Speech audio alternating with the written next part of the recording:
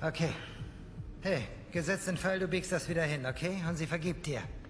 Vergiss mal Wendy, vergiss mich, vergiss den ganzen Mist mit der Bank. Das klammern wir alles aus, okay? Es gibt nur euch zwei und den blauen Himmel in eurem verschissenen Paradies. Ihr werdet heiraten.